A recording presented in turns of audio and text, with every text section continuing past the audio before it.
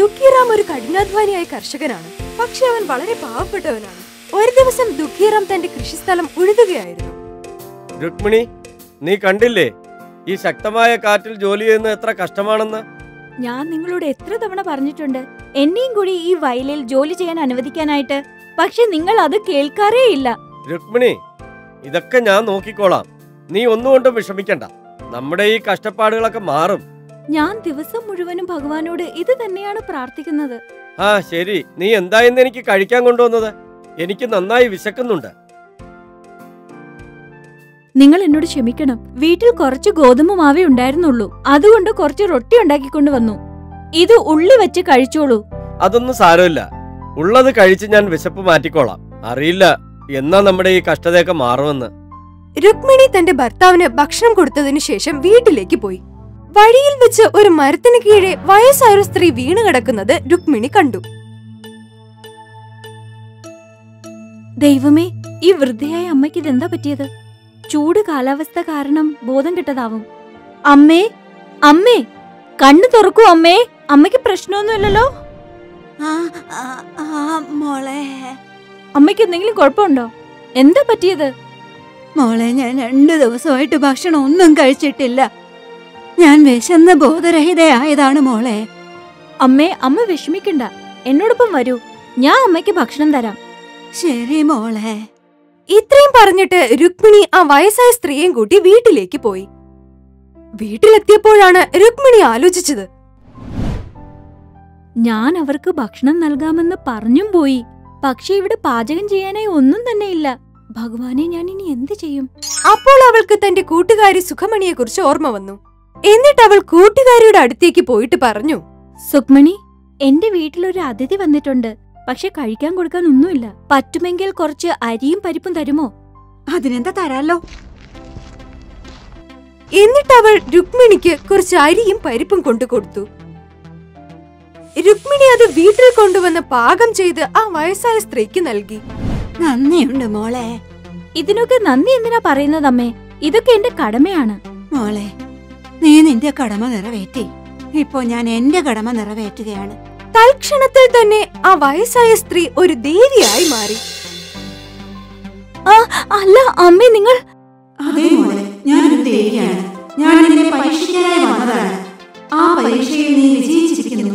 ഞാൻ ഇതിൽ വളരെ സന്തുഷ്ടയാണ്. അതുകൊണ്ട് തന്നെ നിനക്കൊരു സമ്മാനം തരികയാണ് ഞാൻ. ഇതാ മോളെ ഈ കല്ലുകൊണ്ട് ഏത് വസ്തുവിൽ തൊട്ടാലും അത് സ്വർണമായി മാറുന്നതാണ്. സത്യമാണോ ദേവി ഇത്? അതേ മോളെ. ഇപ്പോൾ നിന്റെ നല്ല ദിവസം വന്നിരിക്കുന്നു. ഇത്രയും പറഞ്ഞ ശേഷം ദേവി അപ്രത്യക്ഷയായി. കുറച്ചു സമയങ്ങൾക്ക് ശേഷം ദുഃഖിറാം വീട്ടിലേക്ക് എത്തി. രുക്മിണി ഞാൻ എന്താ കൊണ്ടുവന്നിരിക്കുന്നതെന്ന് നോക്കിയേ. കൊള്ളാലോ പൂവോ? എനിക്ക് ഇഷ്ടമായി ഇത് തലയിൽ വെക്കാൻ. ദുഃഖിറാം രുക്മിണിക്ക് ആ പൂ നൽകി. ഒരു കാര്യം പറയാനുണ്ട്. എനിക്കും ഒരു സാധനം തരാനുണ്ട്. ആണോ? എന്താ എനിക്ക് വേണ്ടി വെച്ചിരിക്കുന്നേ? ദാ ഇത് നോക്കൂ. കല്ലോ? ഇതൊരു മാന്ത്രിക കല്ലാണ്. ഇതെനിക്ക് ദേവി നൽകിയതാണ്. ഈ കല്ല് ഏത് വസ്തുവിൽ തൊടുന്നോ അത് സ്വർണമായി മാറും. നീ പറയുന്നത് സത്യമാണോ? അതെ. അപ്പൊ നമുക്ക് ഈ പൂവിനെ സ്വർണമാക്കി നോക്കിയാലോ? എന്നിട്ട് ദുഃഖിറാം ആ മാന്ത്രിക കല്ലിനെ പൂവിന്റെ അടുത്തേക്ക് കൊണ്ടുപോയി തൊട്ടു. അപ്പോഴത് ആ പൂവ് ഒരു സ്വർണമായി മാറി. ഇത് കണ്ട് രണ്ടുപേർക്കും സന്തോഷമായി. എന്റെ ഈശ്വര ശരിക്കും ഇത് സ്വർണമായി മാറിയിരിക്കുന്നു. ഞാൻ പറയുന്നത് കേൾക്കൂ വീട്ടിൽ കഴിക്കാൻ ഒന്നും തന്നെ ഇല്ല നിങ്ങൾ ഇത് സ്വർണക്കടയിൽ കൊണ്ടുപോയി വിറ്റ് കാശാക്കി പാചകം ചെയ്യാനായി സാധനങ്ങൾ വാങ്ങിച്ചിട്ട് വരൂ. എന്നിട്ട് ദുഃഖിറാം സ്വർണ സ്വർണ പൂവിനെയും കൊണ്ട് പട്ടണത്തിലുള്ള സ്വർണക്കടയിലേക്ക് പോയി. അവിടെ സ്വർണക്കട എന്ന് പറയാൻ രണ്ടെണ്ണം മാത്രമേ ഉള്ളൂ. ഒന്ന് ഹീരാലാലിന്റെയും മറ്റൊന്ന് പന്നാലാലിന്റെയും. അവിടെ എത്തിയ ദുഃഖിറാം ഹീരാലാലിന്റെ കടയിലേക്ക് പോയി. നമസ്കാരം ഹീരാലാൽ ചേട്ടാ. നമസ്കാരം നമസ്കാരം. എന്താ കാര്യം? എന്റെ കടയ്ക്ക് വരാറില്ലല്ലോ. എന്തിനാ വന്നത്? അത് ഒന്നുമില്ല. എനിക്ക് ഈ മാല ഒന്ന് വിൽക്കണമായിരുന്നു. ഞാനൊരു സ്വർണ വ്യാപാരിയാണെന്ന് നിനക്ക് അറിയില്ലായിരുന്നോ ഇത് ശരിക്കും സ്വർണപ്പൂമാല തന്നെയാ. സ്വർണപ്പൂമാലയോ ആ സ്വർണപ്പൂമാല തന്നെയാ. ഹീരാലാൽ അത് വാങ്ങി ശരിക്കുമുള്ള സ്വർണമാണോ എന്ന് ചെക്ക് ചെയ്തു. അത് ശരിക്കുമുള്ള സ്വർണമാണെന്ന് മനസ്സിലായി. തിരിച്ചറിഞ്ഞ ഹീരാലാലിന് അത് സ്വന്തമാക്കണമെന്ന് തോന്നി. അയാൾ പറഞ്ഞു ദുഃഖിറാം നീ എന്നെ മണ്ടനാക്കാമെന്ന് കരുതിയോ? എന്തു പറ്റി ഹീരാലാൽ ചേട്ടാ? ഇത് സ്വർണപ്പൂമാലയൊന്നുമല്ല പിച്ചളയാ. പിച്ചളയോ? അതെ പിച്ചളയാ. ഈ പിച്ചള പൂമാലയ്ക്ക് എനിക്ക് നൂറ് രൂപയെ തരാൻ പറ്റൂ. പറ്റുമെങ്കിൽ താ അല്ലെങ്കിൽ നീ കൊണ്ടുവയ്ക്കോ. വീട്ടിൽ ആഹാര സാധനങ്ങൾ ഒന്നും തന്നെ ഇല്ലാത്തത് കൊണ്ട് ദുഃഖിറാമ നൂറ് രൂപയും വാങ്ങി തിരികെ വന്നു. അയാൾ മടങ്ങി വീട്ടിലെത്തി. നിങ്ങൾ അത് കൊണ്ടുപോയി വിറ്റോ? ആ ഇതാ അതിന്റെ നൂറ് രൂപ. അത് വിറ്റ് കിട്ടിയത് നൂറ് രൂപ മാത്രമാണോ? അത് സ്വർണമാല അല്ലെന്ന്. പിച്ചളയാണ് പോലും. പിച്ചളയോ? ഒരിക്കലും അങ്ങനെ സംഭവിക്കില്ല. ദേവി അങ്ങനെ കള്ളം പറയുകയില്ല എനിക്ക് തോന്നുന്നത് ആ സ്വർണക്കടക്കാരൻ നിങ്ങളെ പറ്റിച്ചെന്നാ. ഇനി അതോർത്ത് നിങ്ങൾ വിഷമിക്കണ്ട. നമുക്ക് വേറൊരു സാധനം സ്വർണമാക്കി മാറ്റാം. അതിനുശേഷം രുക്മിണി അവിടെ ഇരുന്ന ഒരു മൺകലത്തിൽ ഈ മാന്ത്രിക കല്ല് കൊണ്ടുപോയി തൊട്ടു. എന്നിട്ട് ദുഃഖിറാം ആ സ്വർണക്കലം വിൽക്കാനായി സ്വർണക്കടയിലേക്ക് പോയി. വഴിയിൽ വെച്ച് ദുഃഖിറാം ഇങ്ങനെ ചിന്തിച്ചു. ഇത്തവണ ഞാൻ ഈ സ്വർണക്കലം ഹീരാലാലിന് വിൽക്കുകയില്ല. പന്നാലാലിന്റെ കടയിൽ വിൽക്കാം. ഇത് ചിന്തിച്ചുകൊണ്ട് ദുഃഖിറാം സ്വർണക്കലം വിൽക്കാനായി പന്നാലാലിന്റെ സ്വർണക്കടയിലേക്ക് പോയി. എന്നാൽ ദുഃഖിറാം തന്റെ കടയിൽ വരാതെ പന്നാലാലിന്റെ കടയിലേക്ക് പോകുന്നത് അയാൾ ശ്രദ്ധിച്ചു. ഇവൻ വീണ്ടും മറ്റെന്തോ വിൽക്കാൻ കൊണ്ടുവന്നിരിക്കുകയാണ്. നിനക്ക് ഞാൻ നല്ലൊരു പണി തരുന്നുണ്ട് മോനെ. നമസ്കാരം പന്നാലാൽ ചേട്ടാ. നമസ്കാരം ദുഃഖീറാം. നിനക്ക് എന്താണ് വേണ്ടത്? അത് ഞാൻ ഈ സ്വർണക്കലം വിൽക്കാനായി കൊണ്ടുവന്നതാ. ഇത് ശരിക്കും സ്വർണക്കലം തന്നെയാണോ? ആ സമയം അവിടേക്ക് ഹീരാലാൽ കടന്നു വന്നു. എന്നിട്ട് അയാൾ കണ്ണുകൊണ്ട് ആംഗ്യത്തിൽ പറഞ്ഞു ഇയാൾ സ്വർണപ്പൂമാല എന്ന് പറഞ്ഞ് ഇതുപോലെ എന്റെ കടയിലും കൊണ്ടുവന്നിരുന്നു. പക്ഷേ അത് സ്വർണമൊന്നുമല്ല പിച്ചളയായിരുന്നു. പന്നാലാലിന് ഹീരാലാൽ അയാളെ പറ്റിക്കുന്നതായി മനസ്സിലായി. അതുകൊണ്ട് സ്വർണമാണോ എന്ന് ചെക്ക് ചെയ്യുന്നത് പോലെ നാടകം കളിച്ചിട്ട് അയാൾ പറഞ്ഞു പറഞ്ഞത് വളരെ ശരിയാണല്ലോ. ഇത്രയും വലിയ കള്ളത്തരമോ? എന്താ ദുഃഖീറാമേ? ഇവിടുള്ള ഞങ്ങളൊക്കെ മണ്ടന്മാരെന്ന് കരുതിയോ? പോലീസിനെ വിളിക്കട്ടെ. വേണ്ട വേണ്ട. കാര്യം എന്താന്ന് പറയും പന്നാലാൽ ചേട്ടാ. ഈ കലം സ്വർണമൊന്നുമല്ല പിച്ചളയാ. പിച്ചളയോ? ആ പിച്ചള തന്നെ. പിച്ചളയായതുകൊണ്ട് ഈ കലത്തിന് എനിക്ക് ഇരുന്നൂറ് രൂപയെ തരാൻ കഴിയും. എന്താ ചെയ്യുക? ഇത്തവണ പന്നാലാലും ദുഃഖിറാമനെ നല്ലപോലെ കബളിപ്പിച്ച ശേഷം പറഞ്ഞയച്ചു. ദുഃഖിറാമ ഇരുന്നൂറ് രൂപ വാങ്ങി വീട്ടിലേക്ക് മടങ്ങിപ്പോയി.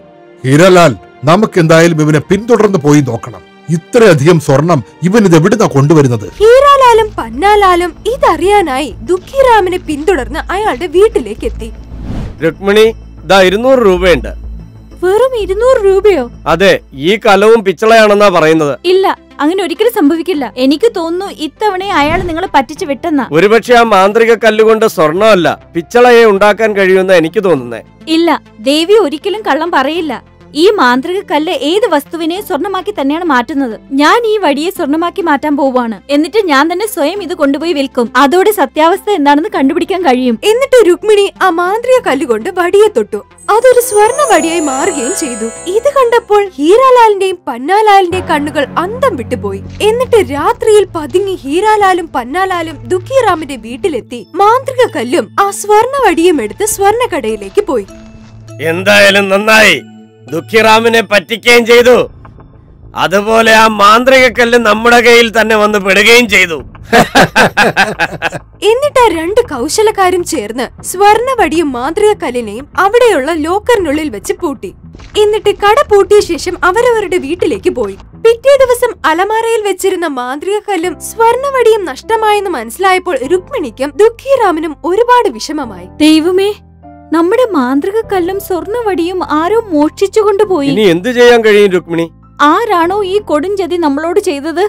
അവരെ ഒരിക്കലും ദേവി വെറുതെ വിടില്ല. പിറ്റേ ദിവസം ഹീരാലാലും പന്നാലാലും വന്ന് ലോക്കർ തുറന്നു നോക്കിയപ്പോൾ അവരുടെ കണ്ണുകൾക്ക് അത് വിശ്വസിക്കാനേ കഴിഞ്ഞില്ല. കാരണം അവർ ലോക്കറിൽ സൂക്ഷിച്ചിരുന്ന സ്വർണമെല്ലാം ഇപ്പോൾ കല്ലായി മാറിയിരിക്കുകയാണ്. ഇതെന്തായി ഈ സംഭവിച്ചിരിക്കുന്നത്? എല്ലാം കല്ലായി മാറിയല്ലോ. ആ മാന്ത്രിക കല്ല് മോഷ്ടിച്ചു കൊണ്ടുവന്ന് നമ്മുടെ ലോക്കറിൽ വെച്ചപ്പോൾ ലോക്കറിലുള്ള സ്വർണമെല്ലാം കല്ലായി മാറിയല്ലോ. നമ്മൾ ഇനി എന്ത് ചെയ്യും ഹീരാലാൽ? നീ തന്നെ പറയേ. അതേടാ ഇതൊക്കെ നമ്മുടെ അത്യാഗ്രഹം കൊണ്ട് പറ്റിയതാ. നമ്മൾ ഉടനെ പോയി ദുഃഖിറാമിനോടും രുക്മിണിയോടും മാപ്പ് പറയണം.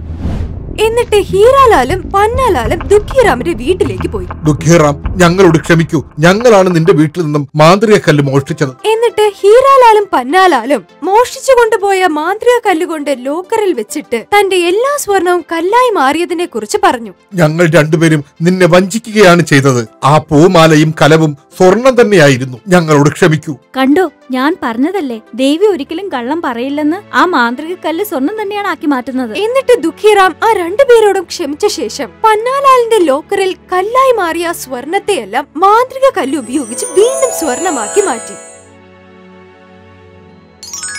എന്നിട്ട് ആ ഭാര്യയും ഭർത്താവും പിന്നീടുള്ള കാലം സന്തോഷമായി ജീവിച്ചു. നിങ്ങൾക്ക് ഞങ്ങളുടെ ഈ വീഡിയോ ഇഷ്ടമായെങ്കിൽ ദയവായി ഞങ്ങളുടെ ചാനൽ സബ്സ്ക്രൈബ് ചെയ്യുക.